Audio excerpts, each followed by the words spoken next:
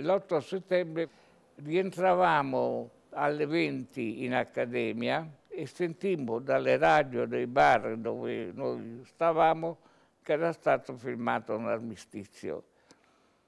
Il colpo fu molto grave perché pur immaginando che ormai si sarebbe arrivati alla fine della guerra, sapere che era arrivata questa data e che era stato firmato un armistizio per noi fu molto doloroso. Ci affrettammo a rientrare in accademia e ci comunicarono che eravamo stati nominati di, a fare la guardia all'hotel Excelsior.